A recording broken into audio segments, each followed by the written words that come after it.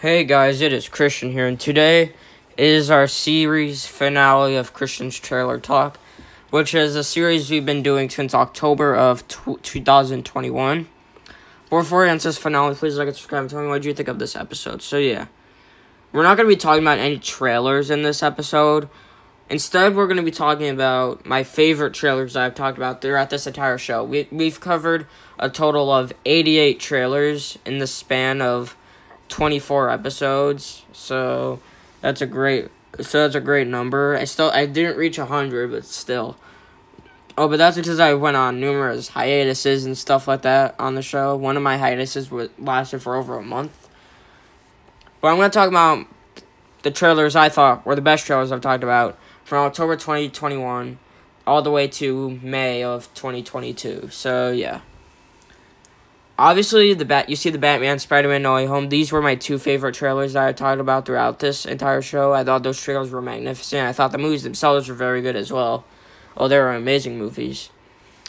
Other trailers I really enjoyed. I thought the Thor: Love and Thunder trailers were pretty good. Uh, no, Top Gun Maverick. That was another trailer. I loved that trailer. Er, an ama- It was an amazing trailer. Um, and and the Lightyear trailers were pretty cool as well.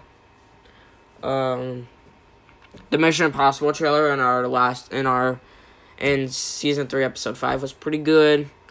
Uh, the Avatar trailer is pretty good as well. Uh, yeah, there were a lot of good trailers. Doctor Strange and the Multiverse of Madness trailer was great. Um,